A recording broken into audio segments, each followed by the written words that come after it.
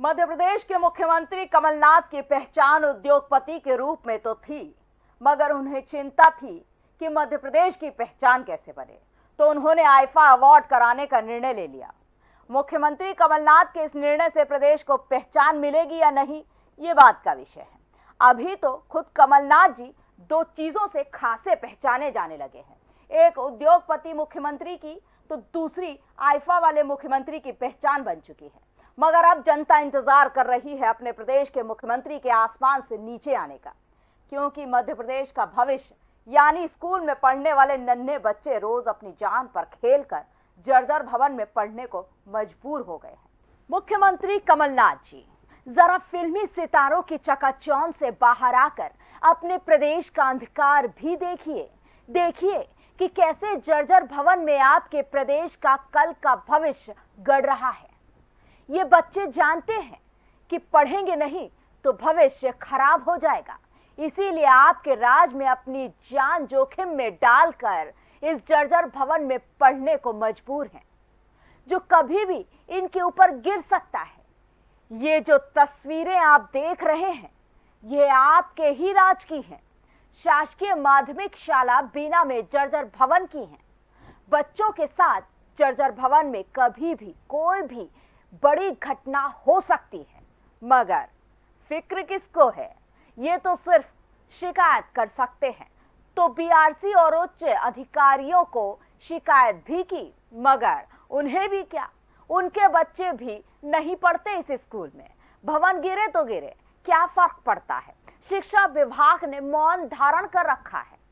और चुनाव जीतने के बाद तो जनप्रतिनिधि कुंभकर्ण की नींद सो ही जाते हैं। पुराना भवन जो है तीन कमरों का, वो पूर्णतः उनकी सीलिंग जो है क्षतिग्रस्त है। उसकी मेजर मेजर रिपेयरिंग होना बहुत आवश्यक है। दर संख्या स्कूल की एक है और बैठने के लिए पर्याप्त कमरे नहीं है। देवरी कला देवरी से लगभग आठ किलोमीटर की दूरी पर स्थित ग्राम पंचायत बीना में शासकीय माध्यमिक शाला जर्जर भवन में संचालित किया जा रहा है। कभी भी ये भवन भरभरा के गिर सकता है। मुख्यमंत्री जी, आपको जानकर खुशी होगी कि आपके प्रदेश के बिना शासकीय माध्यमिक शाला में पढ़ने वाले बच्चे अपने भविष्य को लेकर बेहद जागरूक हैं। लगभग एक सौ पैंसठ संख्या में उपस्थिति दर्ज होती है। यहाँ की शिक्षा व्यवस्था तो ठीक ठाक है। बच्चों को पढ़ना पसंद है और शिक्षकों को पढ़ाना भी पसंद है। मगर सबकी चिंता एक ही है कि ना जाने कब ये जर्जर भवन काल साबित हो जाए। तस्वीरें झूठ नहीं बोलती। पूरी तरह से विद्यालय जर्जर स्थिति में है। कभी भी बिल्डिंग की छत का हिस्सा बच्चों को अपना शिकार बना सकती है। शिक्षक मजबूर हैं। शासकीय माध्यमिक शाला के जर्जर भवन में बच्चों को शिक्षा दे रहे हैं। उनका काम शिक्षा देना है, जो वो पूरी ईमानदारी से कर रहे हैं। वो अपना काम न करें तो बच्चे शिक्षा से वंचित रह जाएँगे। मगर शासन, प्रशासन और शिक्षा विभाग शायद किसी बड़ी घटना का इंतज़ार कर रहा है।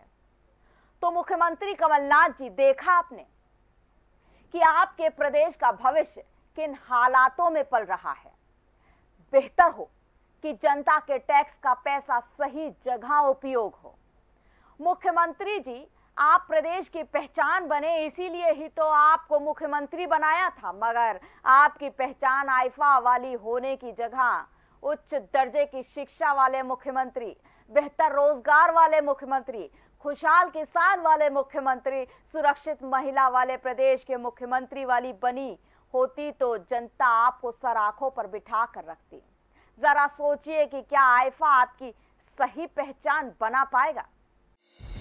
संगीत की स्वर लहरियों से सांस्कृतिक ताने बाने तक चंबल के पीड़ों से नक्सलवादियों के गढ़ तक। झोपड़ी से महलों तक ठेलों से मेलों तक पगडंडियों से सड़कों तक गाँव से शहरों तक व्यापार से उद्योगों तक। राजनीति से कूटनीति तक। दखन न्यूज़। आपके हक।